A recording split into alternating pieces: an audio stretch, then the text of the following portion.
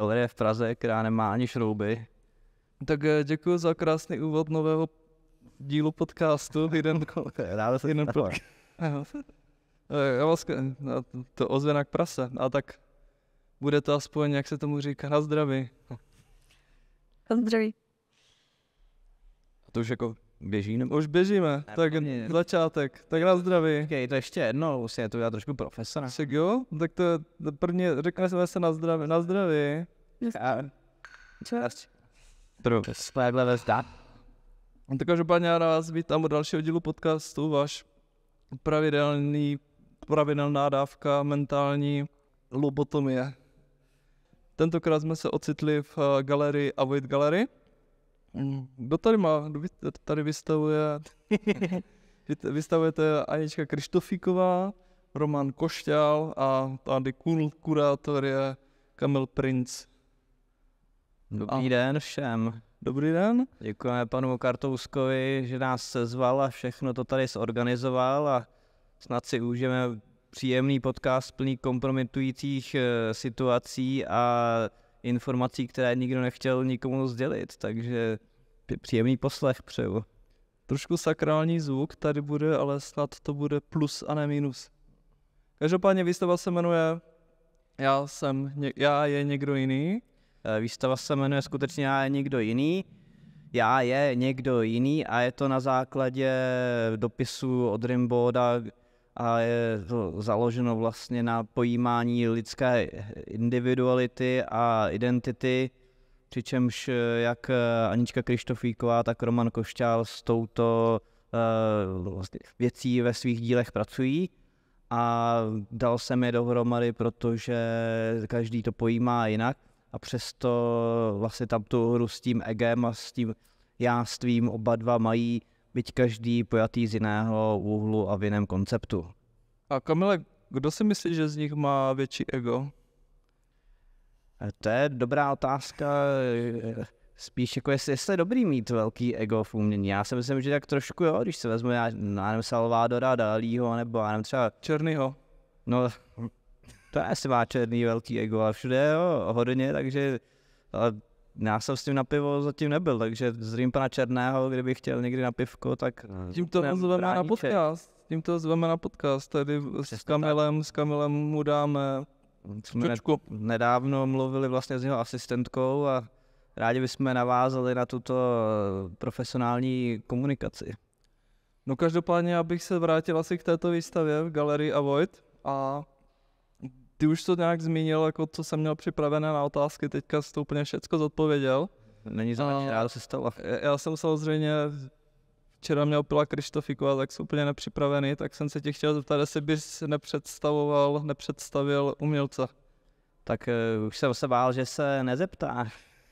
Také nebudu představovat uh, osobně, ale budu je představovat umělecky. A jakožto správný gentleman, kterým nejsem, začneme samozřejmě dámou, tedy Aničkou Krištofíkovou, která vlastně má vla- vlastně to, že ona vlastně za chvíli jede na poměrně dlouhou dobu do New Yorku, byl vlastně důvod, proč jsme Kam, kamže to jde? do New Yorku. Jejda, Jejda. nic tam. K tomu se vrátíme k tomuto tématu ještě, ale vlastně to byl ten prvotní činitel, ta prvotní jiskra, proč jsme tuto výstavu v rámci výstavní série Katastrofická sezóna, což je vlastně série výstav, které by měly mít eh, něco společného, aspoň co se týče různých konotací a náznaků eh, s dekadencí, melancholí, vlastně eh, smutkem a specifického pojetí krásy v ošklivosti. Těch výstav bude víc, budou různé, není to založeno něčem prvoplánovém, ale spíše na lirice a bolestnosti, která je intelektuální, nikterak eh, explicitně zobrazená. A Anička vlastně zobrazuje samu sebe. Eh, Ve svých eh, obrazech můžeme vidět mnoho jejich autoportrétů, většinou jsou to, pardon, omlouvám se, jsem smrtelně onemocněl, tak se tímto se eh, loučím se všemi svými blízkými. Bůh s tebou. To nosíš takhle, jako otočný kříž správně. Eh, takže vla- vlastně Anička pracuje sama se sebou, se svým eh, tělem. Nicméně, co se týče těch eh, zobrazených autoportrétů, tak to nejsou žádní její, tak říkají sklonové, ale jsou to vlastně různé emoce, tenze, traumata, která vlastně jsou stělestěná, vlastně korporizována do postaví samotné, přičemž vlastně ty postavy nejsou reální lidé, ale jsou to symboly a zástupci Eh, různých emocí a různých eh, eh, pocitů. Určitě si můžeme všimnout, že většina těch autoportrétů je nějakým způsobem fyzicky poškozená, ať už modřinami, různými řeznými ranami, kruhy pod očima, slepými, slepýma očima, různé rány i na rukou, vlastně kristovská stigmata a vlastně tahle, tahle ta práce s narušováním integrity vlastního těla koreluje s krajinami duše a vlastně s vlastně psychickými stavy, které taky můžou být ne vždycky pozitivní, můžou být bolestné, můžou být patologické. A mně, mně se líbilo, že jeden její obraz si přirovnal k housence v kurátorském textu. Čemu jsem? K housence. Melancholie, osobní úpadek a konečný zánik.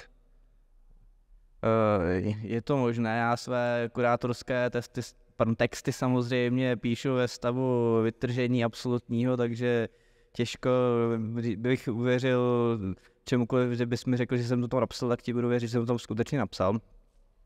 Ale myslím si, že by se taky hodilo uvést Romana Košťála, představit ho vlastně, co dělá on. A zatímco Anička pracuje v obrazech sama se sebou, nebo de facto se svým spodbou vlastního těla, tak Roman Prav... Jinak já tady přišel do záběru Dráček, Pejsek a Krištofíč. Krištofíkové. Zdravíme, tento podcast je eh, dotován eh, útulkem Praha, takže když byste si chtěli adoptovat nějaké zvířátko, třeba pana Kartouska, tak samozřejmě můžete a trošku krmení a vody a bude se vám Stačí braník jako eh, lepší než eh, nějaký uh, pitbull třeba. Takže taky umí hlídat. psa a galeristu je to tež? Já si myslím, že psi jsou méně konfliktní. Ale vraťme se samozřejmě k našemu naprosto vážnému a vážně míněnému podcastu a vlastně k sižetům Romana Košťála, který pracuje vlastně s lidmi z hlediska filmu a většina z pravidla jsou to postavy, které už jsou mrtvé, ať už je to Vlasta Burian nebo Adina Mandlová nebo další. Často jsou to postavy z němých filmů nebo alespoň z černobílých filmů, když už uh, vlastně to nebyl němý film, ale pořád je tam nějaká reminiscence na čas, který byl a už dávno vlastně není. Je to trošku i vanitas a tím, že ty film, uh, Ehm, filmy byly černobílé, tak eh, Roman pracuje s, často s uhlem a taky s černobílostí, tím pádem eh, navozuje atmosféru těchto těch starých eh, filmů a zašlých dob. A ta individualita tam, je tam vlastně zpracována tak, že on si bere herce, kteří když si hráli v různých vážně míněných filmech, nebo prostě filmech, které byly nějakým způsobem vlastně důstojné. důstojné a dává je do pozic, eh, přesně tak pan Kartousek, určitě si ho adaptujte, protože něco tak chytrýho jste ještě neměli. Eh, přičemž on je vlastně uvádí do různých konstelací a konotací, které jsou jim nevlastní a jsou dost kompromitující, ať už třeba Vlasta Burian tady ukazuje, ukazuje prostředníček a si budeme muset udělat pauzu sám sem vloupávají nějací My to dají vedle do hospody. zločinci umění, asi nás tady všechny uh, zabíjí a ukradnou obrazy a prodají je na aukru. My je nepustíme dovnitř. Dobře, tak uh, myslím si, že oni jsou tady pro let. Mají už asi... pryč. Jo, už jdou pryč. Jo, výborně, takže zdravíme Avoid Cafe a... a oni už si mě chtěli asi adoptovat. Výborně, volejte, kdo zavolá první, ten... Lepší přenos. Samozřejmě. Do éteru. Bůh s tebou. On, omlouvám se, moje rakovina plic již postoupila do mozku a uh, už uh, se nedržu konce podcastu, což je dobře, protože tím pádem bude víc času tady na Filipa. Proč vlastně Anička uh, spodobně často slepé oči, nebo oči, které jsou nějakým způsobem vybledlé, nebo nevypadají jako lidské oči. A je to vlastně proto, že eh, jí často lidé poukazují na její velice jasně modré oči a ptají se, jestli to třeba nejsou nějaké čočky, nebo vlastně hodně se na ty oči zaměřují, ale tím pádem, že když ty oči ona vlastně u sebe nějakým způsobem zastře na těch obrazech, tak eh, pak eh, člověk se začne všímat jiných eh, částí obličeje a hledí vlastně tu postavu úplně jinak a všímá si věcí, které bych si byl nevšimnul, kdyby tam ty oči byly.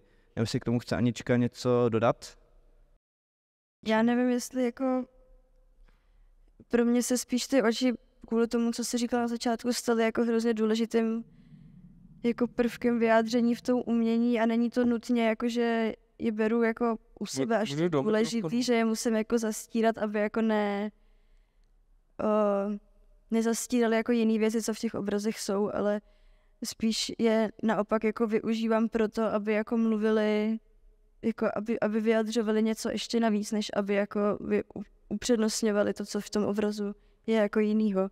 Například, že ty postavy se třeba nekoukají na tu realitu takovou, jaká je, nebo nechtějí, nebo neumí, nebo se spíš koukají do nitra svýho, než by se koukali ven, protože zrovna prožívají něco uh, intenzivního. A ty jsi začala malovat sebe, sebe na AVU, nebo už to bylo i před AVU? Před akademií? Už před? A bylo to ve stejném stylu, nebo se to nějak pozměnilo na akademii? Já jsem jako sama sebe začala malovat během covidu, když jsem si trénovala figuru. Zrcadla.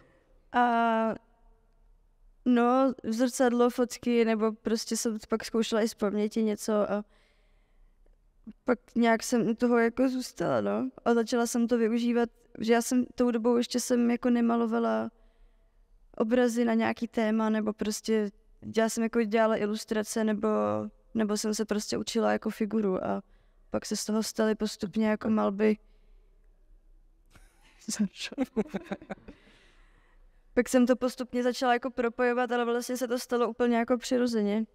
Nějak se, ani, ani nevím, jako kdy se ten zlom jako stal a jestli tam byl vůbec nějaký jako úplný zlom, prostě se to nějak překlenulo k tomu, že jsem to spojila jako dohromady. A tady, a tady jak ten uh, Kamil, tady pan kurátor uh, zdůrazňoval ty detaily v těch obrazech, tak to je něco, co prostě tam zlupla automaticky, anebo za tím přemýšlela, nebo prostě se tak jako cítila. Ty, ty rány, to, ty rány nad, ně, nad nimi jsem vlastně nikdy jako nepřemýšlela. Když jsem je udělala poprvé, tak možná, že to bylo i tak, jako že jsem tam dala omylem víc červený barvy a ono to vypadalo dobře. A pak už tomu dáš najednou ten význam, že jo, trochu. A pak se to stane teda trochu jako automaticky, že jsem začala dělat jako na víc obrazech a teď už zase trochu cítím, že bych to měla nějak jako rozvinout jinak. Protože už to je takový jako opakující se hodně. A když tam máš třeba, když si na tom obraze děláš tu skarifikaci, tak uh, Vnímáš to prostě jenom jako obraz, nebo si jako trošku ulevíš, jako vnímáš to jako svoje tělo, ten obraz? Myslíš ten, co tady nevisí? Asi jo. jo jako navíc máš jako nějaký... Tak to jsou takové jako ranky, jako uh-huh. vyloženě jako... A máš to... Verifikace na... je... To je něco hlubšího, no, ale tak... Prosím? Že, že skarifikace je něco jako hlubšího, což, což má za účel jako mít tu ránu, ale ty to neděláš jako, že to je prostě... No tady to, co je tady na těch obrazech, to, se, to je myšlený jako prostě nějaký ranky, jako odřeninky, než jako něco, co bych si udělala jako sama. na schvál, sama. Mhm. A ten jeden jediný tady jakoby nevisí, ten je v Podheimce teďka. A ten už je prodaný. Je no. Nebudeme ukazovat. Já si se můžu zeptat, abych se chtěl dotázat tady Romana vlastně, jak ono přistupuje k motivu očí ve svých obrazech, nebo zda jsou třeba důležité jiné části těla, ať už třeba obličej nebo nějaká část obličeje, nebo třeba část i těla, torza, vlastně na co se zaměřuješ a na co vlastně dáváš největší důraz, když vlastně vytváříš obraz. Je něco, co je vlastně tvým symbolem a často užívaným um, zase strategií vidítvarnou, jak zaujmou diváka, nebo to máš po každé různě? Ty, ty obličeje jako určitě, protože se většinou třeba vezmu to jsou zrovna jako docela i slavný, jako by ty obličeje, že to jako lidi poznají, třeba toho Buriana, ale mm, si většinou jako dělám screen z nějakého filmu, na co koukám a vezmu si většinou někoho, kdo je vzadu. Hmm. A vlastně já třeba jako ne, nemám rád jako se vás fotí. u, u, ostatních lidí, u ostatních lidí jako malířů, tak mi to jako nevadí, ale mm, jakoby já třeba n- nedokážu udělat jako nějaký obličej jako z hlavy, jako ne, že bych to nezvládl technicky, ale jako mm, ne, není to podle mě jako právě moc upřímný a právě, že Hmm. hmm. jak beru něco jako nějakou tu památku toho herce, tak to, tak právě ty obličeje jsou vždycky jako někdo konkrétní. Já- když, I když to je třeba na nějakých obrazech, třeba někdo, kdo je úplně vzadu, nějaký jako droboulinkej, tak Mhm. ten obličej jako nikdy nevymýšlím, no. No, já jsem kde si četl, jako, že pro lidský mozek je strašně, jako, že je složité namalovat uh, obličej, který v životě neviděl, že vždycky maluje něco, co v životě viděl. Mm, To asi jo, no. Ale tak, nevím, proč jsem to řekl, ale řekl jsem to. A tak jako to, ty používáš víceméně lidi z filmu, ze starých, eh, ze starých černobílých filmů prvorepublikových. Tak no, jako mě jde spíš jako o to, že mm, nevím, už jako třeba jako malý, tak jsem hrozně miloval třeba jako gotický jako horory Hmm. a Hmm. takhle. A hlavně, myslím, že Nevinátka se jmenoval ten film, jeden, co jsem měl jako hrozně rád. A tam jsou právě jako prostě duchové a ty, ty duchařský příběhy. A já vlastně jako to svým způsobem beru právě jako duchy, jako Jo, že že to jsou jakoby skutečný, jakoby to, ten, ten duch toho herce spíš než jakoby to, že to má být nutně filmový a takhle. To je spíš jako duch, ta památka jako toho člověka. A to je třeba ten uh, od Kára, nebo jak se jmenuje jménem, Oto, Otokára, Jiříka. Jiří Kára, že to je trošku jako se vybučuje z těch lidí, které maluješ. Jo, tak on se ten obraz jmenuje jako Parte, a ne jako Jiří Kára. Tam právě je, má fungovat právě pro lidi jako, jako takový parte, vůbec, jako, že nikdo neví jako pořádně, že Jiří Kára je mrtvý. Mhm. No vlastně vši, všichni z toho videa svatby jsou prej už mrtví. Nevím si všichni, ale vím, že ta, já nevím, jak se jmenuje, já jsem vždycky říkal princezna a Jiří Kára. Že princ a princezna, tak ty určitě. Už jsou po deadlineu. To se mi vlastně na tvých dílech líbí, že kolikrát vlastně kombinuješ postavy, ať už je to třeba tady ten obličej, nebo třeba i celá těla, že vlastně ty si dal Burianovi, jestli to říkám správně, třeba dívčí, dívčí nohu, nebo úplně prostě jinou část těla, než on ve skutečnosti měl a eh, vlastně to taková variace a kombinace nejenom vlastně těch individualit, tak už prostě spojuješ nebo jako naopak eh, vlastně rozkládáš, vy ty upíři, kteří třeba nemají celý obličej, nebo vlastně ten obraz eh, papa, který taky vlastně je tam jenom část obličeje, takže vlastně ty mm, bereš postavy a pracuješ s nimi trošku jako se stavebnicí. Jak tě vlastně tohleto inspirovalo, nebo když jsi to udělal poprvé, že jsi se spojil více různých postav do jedné figury? Mm, to ani, to nedělám nějak vědomě, přímě. To třeba ten Burian tamhle, tak ty nohy jsou takový jako i ženský, ale hlavně jako takový, taková jako kobylka. Lidská, Hmm. jako takový právě dlouhý, vohnutý, tenký nožičky. Takže vlastně pracuješ hodně třeba i se svojí intuicí, že vlastně nevíš přesně, co namaluješ, necháš se vést nějakou vnitřní silou, vnitřním půzením, jak o tom někoho spodobníš, nebo nejdřív se vlastně zamyslíš nad tím konceptem a kompozicí a pak to dáváš dohromady, nebo vlastně jak to děláš, jak to hoří? No jak co, jako některý obrazy, obzvlášť teď, co dělám tu jakoby novou sérii, tak tam každý obraz vím úplně přesně, ho mám jako v hlavě, že vím přesně prostě, jak bude vypadat. Hmm. a držím to, držím se toho. Přesně, Hmm. no.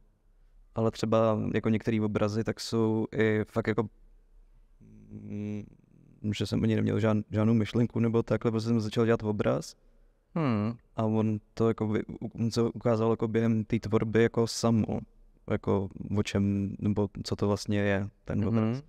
Že vlastně ten obraz si řekne sám, jak chce být namalován a stvárněn. No, že mi jako hro- hrozně často mi ani nejde jako třeba myslet, jako vymyslet, jako o čem ten obraz bude a pak jako, jako začít dělat, ale spíš ten nápad je jako paradoxně taková jako mm, vychází jako z nějaký abstrakce, jako Hmm. právě jako jenom jako z pocitu a jako nějak, nějak jako prostě zevnitř. Jako z podvědomí třeba. No, z jungiánského nevědomí. Všech těch stínů a vlastně toho té propasti duše se to vynořuje. A co třeba Anička, ty když tvoříš obraz, tak už dopředu víš, jak bude vypadat, nebo třeba si řekneš, tady se mi vejde ještě luk a tady se mi vejde třeba ještě tetování a dotváříš ho až vlastně za pochodu. Já, pardon, já mám většinou jako nějakou jako jednu tu hlavní postavu. Hmm. A ta fotka často vznikne jako náhodou, nebo, nebo už ji mám v hlavě a podle jako té představy se to nějak jako nafotím. A pak k tomu ty významy taky jako přibývají často. Můžu se do mikrofonu. Třeba tenhle, tenhle velký konkrétně, není vidět na kameře asi, tak ten, ten jsem věděla jakoby od začátku, o čem bude, ale vlastně je to, jsou to asi s tím druhým velkým, co je v Podhajemce, tak jsou Hmm. to asi jediný dva, u kterých jako jsem fakt věděla, o čem jdu. Hmm. Jinak to tam všechno jako vzniká prostě postupně, no. A někdy ani, ani vlastně, když to vznikne, tak nevím, o čem to je a pak třeba tak jako to trochu domýšlím, ale zase to nechci úplně jako domyslet jako na sílu. Hmm. No, spíš to nechávám jako na, ty, na těch emocích, aby A děláš si skici třeba? Já si to většinou jakoby nafotím a pak si to různě skládám v Photoshopu, jak to tak jako bude sedět. Mhm. Bude sedět. A někdy, někdy teda ani to ne. Ale už jsme příliš, Těch, u těch větších, kde je víc postav, tak jakoby jo. ale už jsme příliš nudní, bychom měli trošku zaujmout diváky nějakým bulvárem, tak tvořili jste Tím, že jsme byli včera na pivu. Ano, výborně, tak si poslechneme. Takže teďka, milí posluchači, Anna Krištofíková vám teďka chce sdělit vlastně manifest své tvorby. A začalo to, že jsme byli včera na pivu a to se pak dál odehrávalo. Myš mi osvěžit mou alkoholickou paměť, co jsem chtěla sdělit. No, jako, ne, jako nic zásadního, jenom jsme měli jako hrozně velký plány, že by se tady mělo stát něco skandálního. Skandální. Tak to se děje právě.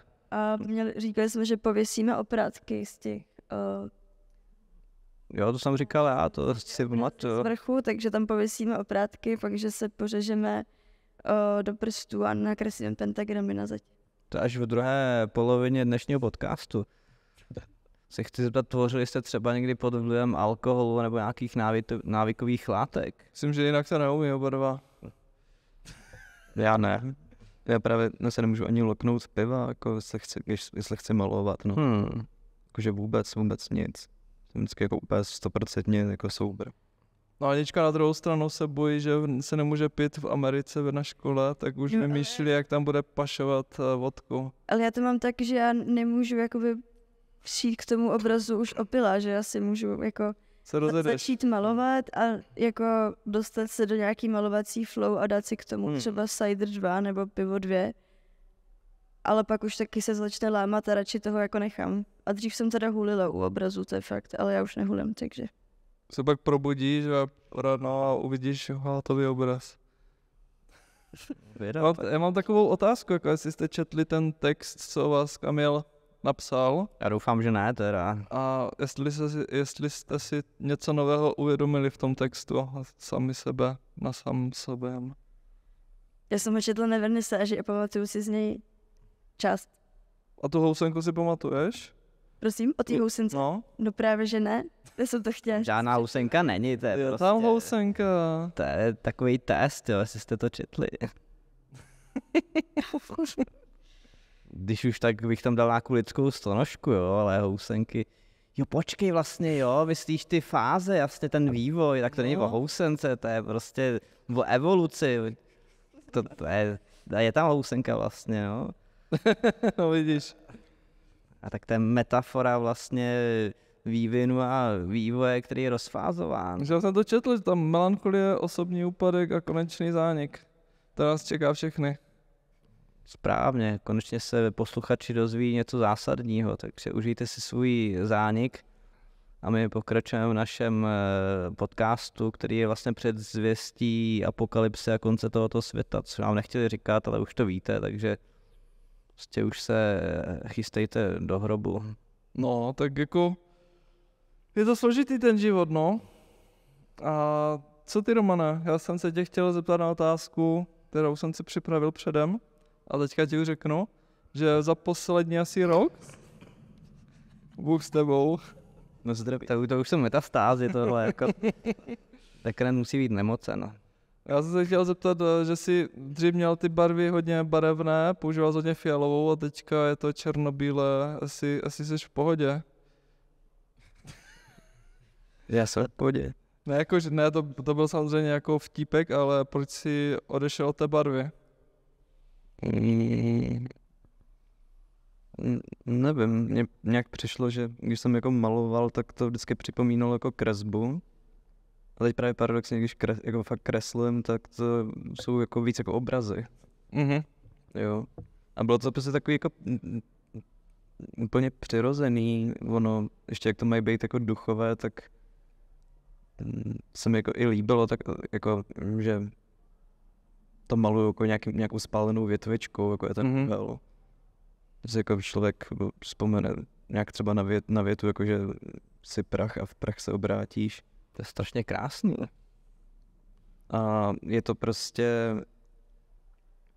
mm, že jako mám hrozně jako třeba moc skicáků a furt jako dělám právě skici a kreslím. A vlastně tady to vlastně byla možnost dělat prostě i veliký jako obrazy víc jakoby tím, že to bylo takový intimnější, jakoby všechno, co mám ve skicáku a takhle. A vlastně ty, ty obrazy jsou teď jako mi přijde lepší, že ten úhel prostě to fakt jako to ve mně jako se hnulo nějak. No na tom úhlu jako, že tam nemůžeš moc gumovat, ani přemalovávat, že je to takový... No, ani, ani nejde přešepsovat ten obraz pořádně, no. Takže se to prostě na první a dobrou. No to taky ne, ale... No. A kolik pláten si poseral? Pár jo, no. A co s něma děláš? Dáš do pračky a tři Vyhazuju tvrdě, jo? ať to nikdo nevidí. A... Já jsem taky byl u, u Němce a taky vyhazoval nějaký jako plátna. A vím, do, jak, do jakého konťáku to vyhazuje, tak si říkám, jako, že vždycky v nedělu bych tam zašel. to máš ze zdravím. To se takhle dělalo, když umřel Francis Bacon, ne? že se lidi chodili do toho jeho konťáku a brali všechno, co tam bylo. No to právě, to, o tom mi právě mluvil uh, Tomáš Němec, když to vyhazoval do konťáku, tak vzpomínal na Francise Bacona. On říkal, já to vyhodím a to nechci udělat, tak kdyby, kdyby jsi měl obraz vyhozený Francisa Bacona, tak jsi šťastný. Řekl, že by byl, ale že to jeho chce vyhodit. Já bych navázal na otázku tady Filipa, nebo jestli jsi se chtěl ještě něco zeptat teda. E, jaký jsi měl dneska den, jestli se dobře probudil? Co se chtěl skoro zeptat, takový co ne, takže vy se tady čteme myšlenky. My jsme napojení. Zvrácené a dekadentní. Tak já se tě když tak taky zeptám už vlastně odpověď na dvojotázku, to znamená, jaký jsi měl den a jsem se chtěl zeptat, jest, jak, jestli se cítíš jako v pohodě, jo? to je taková vlastně řečnická otázka, ale vlastně jestli v životě šťastný, jestli umění je pro tebe nějaká vlastně východisko z nějakých prostě tenzí, protože život je bolestný a přináší zklamání, když budu citovat, anebo jestli prostě jsi happy a tady maluješ ty duchy a ty prostě smrtky a lepky a prostě si úplně vlastně veselý a koukáš u toho někde tady na animované filmy a prostě maluješ tam ty kosti někde u toho, jak to vlastně máš. Hmm. Já nevím, tak já si připadám jako vě- většinu času jako takový smutný bastard. To je krásný. A, jako připadá, jsem jako celý život byl trošku jako nějak jako, jako smutný a zahořklý občas jako k věcem. Co ty obrazy tak dobrý? Tak, jako takovýmu, ale nepřipadám si blbě. Jsem si, že to je, vyžíváš. že to je normální, vlastně si to užívám. No. Co Anička, jak to má? Já jsem měla čas se to právě... Takže to blíž ten mikrofon, no to být nepřipravená, zaskočená, protože v ten okamžik právě řekneš tu pravdu, který, který pak budeš Ne, litovat. ale já, mě to napadlo hnedka, takže je to, Hm. je to jako... Já bych řekla, že asi šťastná jsem, akorát se mi občas dějou věci, co mě šťastnou nedělají a musím se s nimi nějak vypořádat. Ne, jako opravdu, já si asi jako až na nějakou pubertu si fakt jako připadám dost šťastná, spokojená, akorát nějaký věci se staly, se kterými jsem se musela nějak vypořádat, nebo pořád jako musím a nejsou úplně easy, ale jako mám pocit, že se furt teď nějak držím na nějaký jako hraně, kdy můžu říct, jako, že jsem vlastně docela happy. Až na ty jako aktuální propady, ale ty z těch se dostane jako člověk. A jak se z toho dostává, že tam jako alkohol nebo hlazení psa a Ne, nebo procházky? Ne, já, většinou mi nejvíc pomůže prostě najít zpátky na rutinu.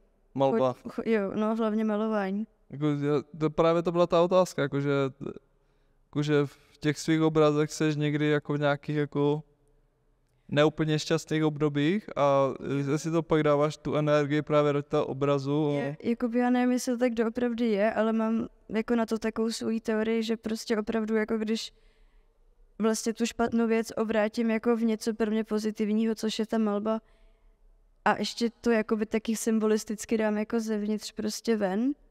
Teď to zní hrozně kýčovitě, ale jako je to tak, asi tak. Je, jako necítím se nešťastně při malování toho obrazu. To vůbec ne, právě naopak.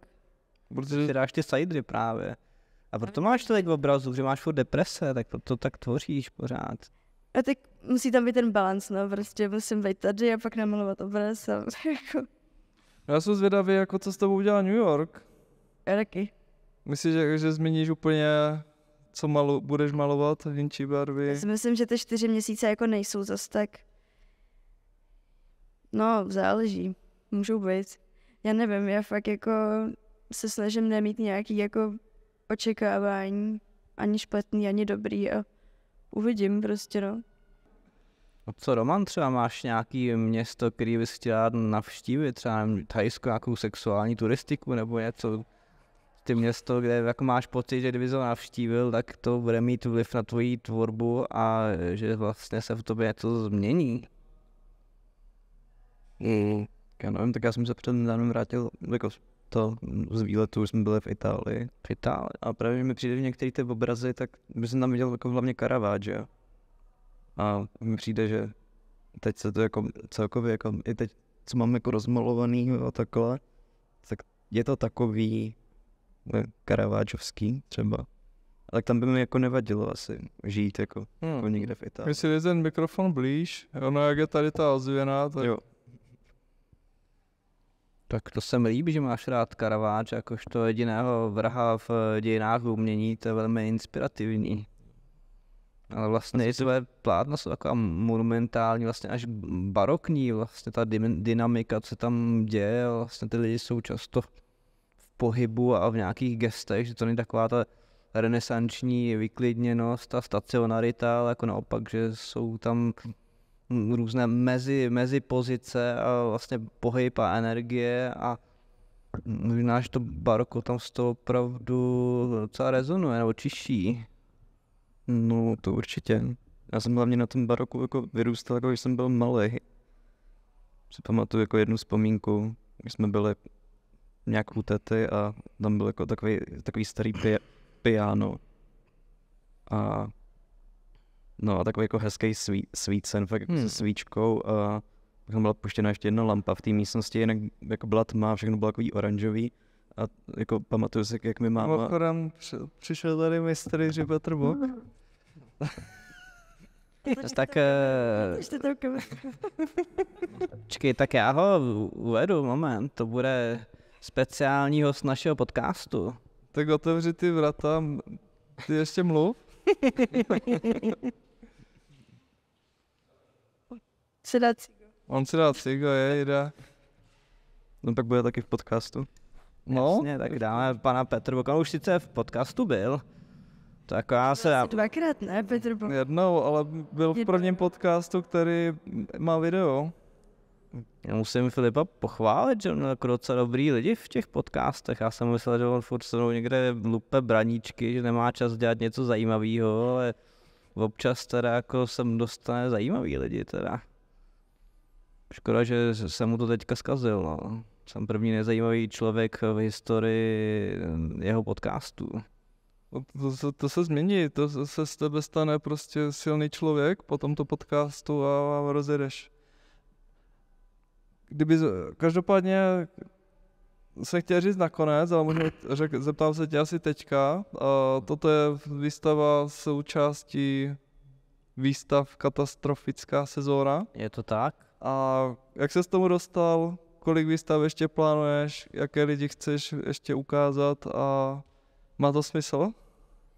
No tak eh, umění je vlastně to, co smysl nemá, to je na tom to krásný, protože cokoliv děláš prostě utilitárně, má to nějaký prostě význam, věc prostě když uděláš si s já nevím, vidličku, tak je strašně pěkná, ale pořád si udělal, aby si si prostě strkal do pusy na nějakým prostě napíchlým bramboru, ale umění podle mého náhledu a názoru je eh, zajímavý a vlastně hluboký, protože vlastně ničemu neslouží, kromě toho, aby ti dělalo radost nebo aby ti vlastně přineslo do života něco vlastně duchovního a zajímavého. Jako umění, který je k něčemu dobrý, podle mě už není umění, ale je to prostě nějaká dekorace nebo prostě ně- něco užitného, takže jako otázka, jestli má něco smysl, tak já si myslím, že věci mají eh, smysl pouze tehdy, když ten smysl nemají, což vlastně ten smysl pak vytvoří. Že ten eh, smysl je vlastně to duchovní, eh, psychologické obohacení,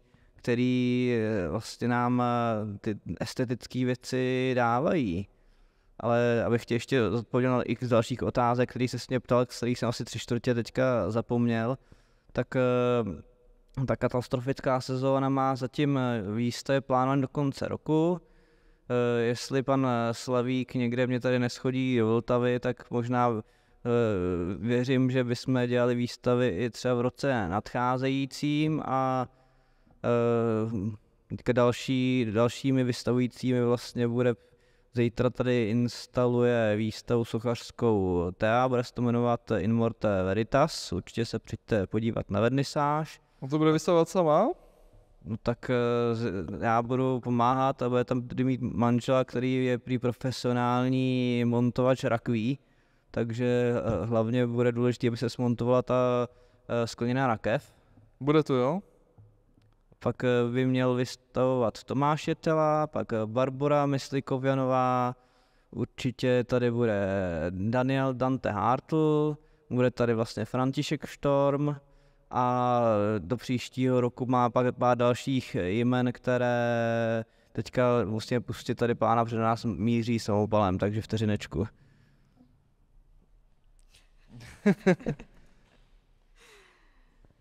A tak eh, když, když vás mám jenom vás dva, tak se vás zeptám, Kamila, dej jenom pozor, ať neodběhne dráček, jestli to... Dráček, ať jenom ne...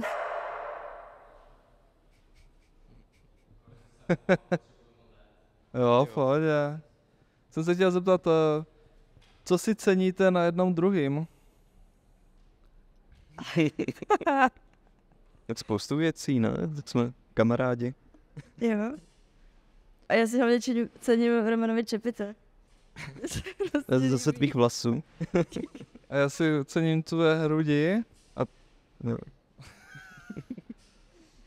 Ne, já jsem nad tím fakt přemýšlela, že to, že Roman má fakt hrozně cool jako image s tou, s tou čepicí. A ještě jak dneska přišel s těma brýlema, který teďka na sobě nemáš, tak prostě to bylo jak z nějakého jako filmu. Opět jsem si říkala, že doufá, že v těch brýlích bude uh, točit ten podcast. A tady to máme. Takhle.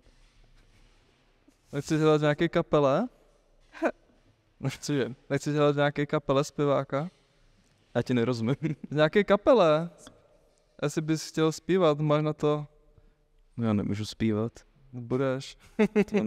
Já taky ne, založíme kapelu. Na zpěváku. Ale právě Kamil tady zpívá, jak eh, on hraje na piano a zpívá. Hm. Ale o svých strostiplnostech. Neslyšíme tě, nemluvíš. Ne, ne, před, před, předtím jsem nedopověděl jakoby to s tím barokem, jenom se vzpomínka, co mi teď nedávno jako vrátila, jak mi Mhm. ještě před školním věku jako máma vysvětluje úpravu nějakého barokního piana, jakoby co, principy baroka. A ukazuje mi vlastně Rubence, Caravaggia a Rembrandta a všechny tyhle ty malíře, jako když mi byly třeba čtyři roky. Mhm. Tak to v tobě zůstalo. No, A ti ukázala nějakou knížku, nebo jak to máš?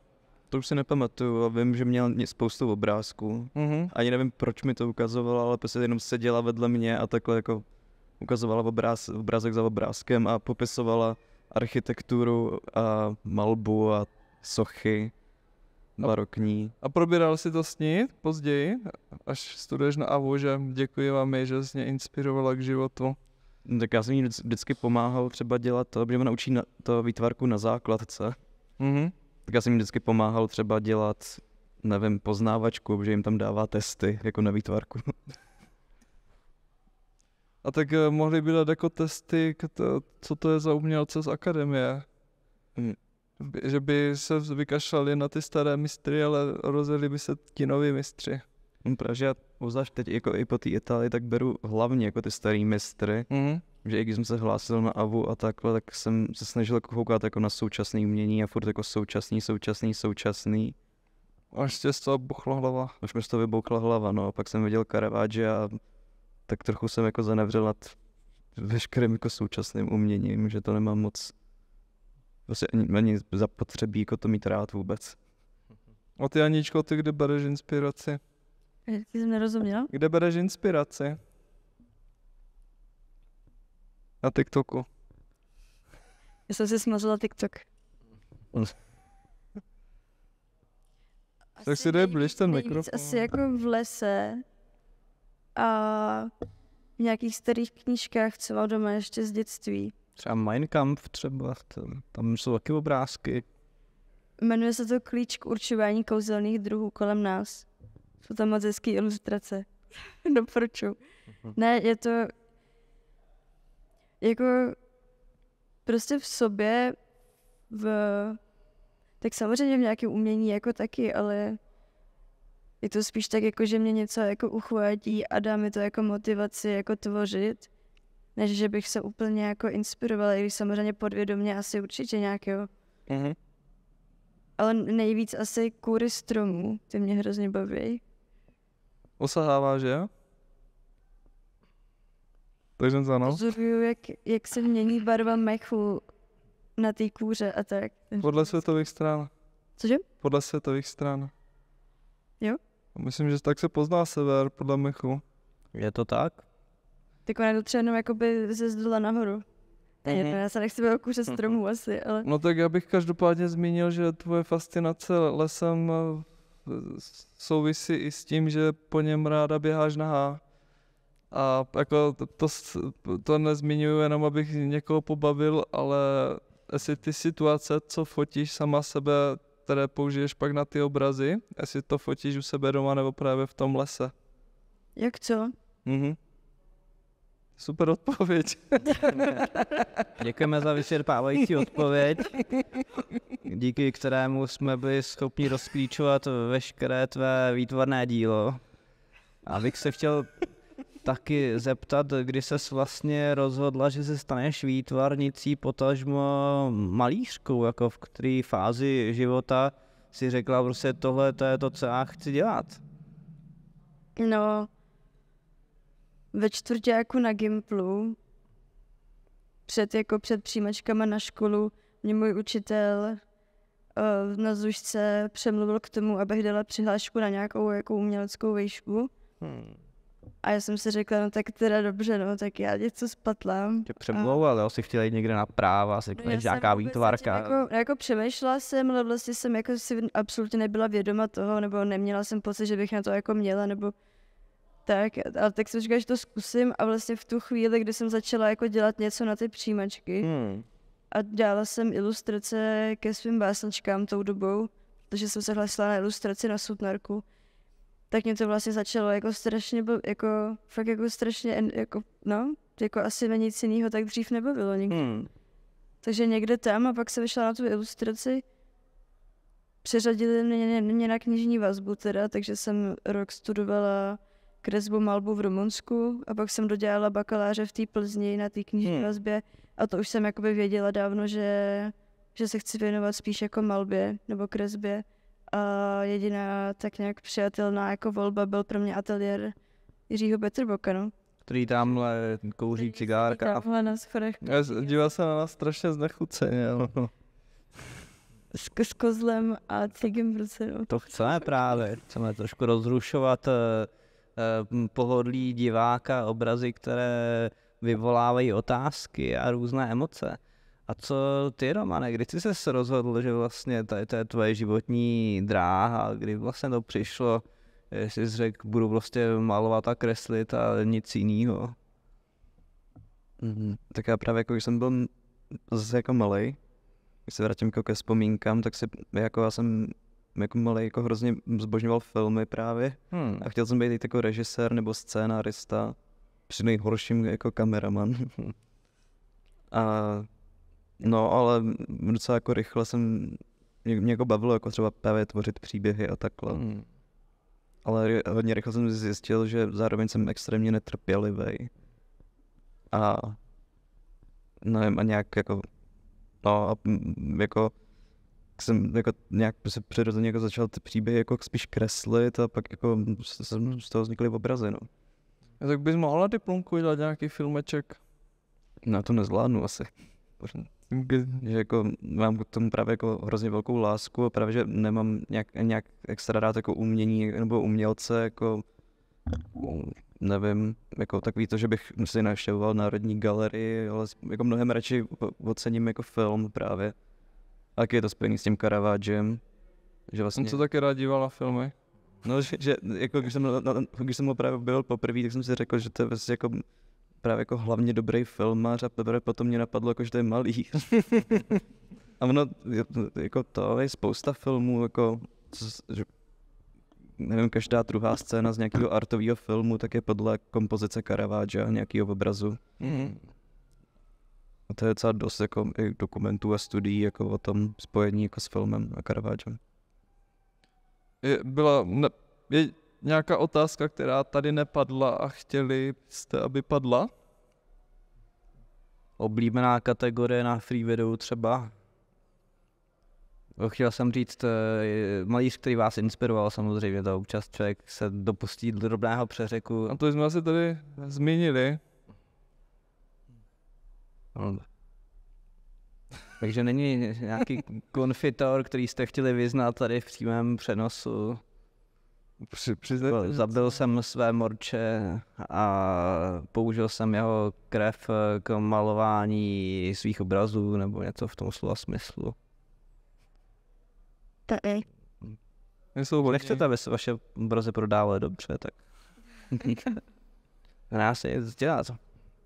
Já chci skutečně bez legrace říct, že jak Anička, tak Román jsou nesmírně talentovaní, ať už eh, vlastně manuálně a technicky, tak eh, bych se nebál říct ani básnicky, nebo de facto příběhově a sižetově vlastně, co oni všechno těch obrazů zakomponují, vlastně to je třeba pomalu celovečerní film kolikrát a jsem hrozně rád, že se snížili k tomu, aby se mnou kooperovali tady na této výstavě a doufám, že jejich eh, laťka bude nadále natolik eh, nízko, aby jsme tu spolupráci eh, rozvíjeli a pokračovali v ní, takže mám velkou radost, že Akademie výtvarných umění má takovéto talenty a přeju jim do jejich bolestného života plného utrpení a zklamání mnoho dobrého. Já taky asi, no. A ty se da, plánuješ někde v budoucnu do nějaký semestr někam jinam, mimo Českou republiku, do Itálie, ne? Za Karaváčem. Jo, jako určitě bych chtěl jako to, ne, aspoň na semestr někam, ale zatím to ještě nemám vymyšlený. A do New Yorku se tě nechce? Do New Yorku se mi nechce moc. Proč? Nevím, nem, nějak mi nezní New York. Tam nemají žádný dobrý umění prostě. Tak to budou tam mít Aničku Expresionismus. teďka. Tak? No, ale já jsem jako, třeba jako nějakou školu, jako Amsterdam, jako, jako nizozemí, tak to bych možná jako něco takového chtěl. Skrz trávu, ale. Cože? Skrz trávu. Skrz trávu? No, marihuanu. Uh. Tak jo, tak my si asi dáme ještě pivko a mě už nenapadají žádné otázky. Každopádně, jestli tady pana mučedníka dekadence ještě něco napadne, tak to určitě ze sebe vyplivni. Mm, Tak já bych rád apeloval na diváky, aby oba dva umělce sledovali, tím nemyslím jako voyeuři někde prostě za stromem, ale jejich instagramové účty a sociální sítě a oba dva jsou velmi mm, plodní, tím zase myslím jako eh, umělecky, doufám, že oba dva mají nějaký nitroděložní tělísko a vasektomii, protože umělec se musí věnovat svým dílům jeho děti, samozřejmě jakákoliv reprodukce naprosto zakázaná, ale chtěl jsem říct, že jsou tak eh, kreativně, tady do mě kope paní Krištofíková, slečna, Eh, jsou tak kreativně plodní, že opravdu sledujte a občas si třeba od nich něco kupte, dokud se to dá ještě koupit, jo, protože tady po výstavě na Avoidu to se všechno z desetinásobí ty ceny a jako už potom nebude možnost. To už bude prostě hypotéka tady jenom nějaký plátno vyhozený do kontejneru, takže sledujte a mějte rádi dobrý umění. Tak já děkuji za, Dobrý galeristy teda samozřejmě. Tak já děkuji za, za příjemný podcast, za pivko a už je tma, úsměv, ú, úsměvy končí a zach, přichází jenom usínání. A čeká na nás Jiří Petr Bok. A čeká na nás. Už mu došla krabička cigaret a už je nervózní. On teďka za- zaklopil toho kozlíka, no. Bude potřebovat nové pivko, tak mu budeme muset asi Nechceš tam dát to, poslední záběr na ty dva lidi venku? Tak jo, tak děkuju a a přijděte. Všechno je všude. Když si chcete něco koupit, tak uh, googlite a nebo jděte na hiddengallery.cz a koupíte si Umění. mě. Umění zdar a dekadenci zejména. Čau. Adoptujte Filipa. Ano. Čau. Pánem bohem.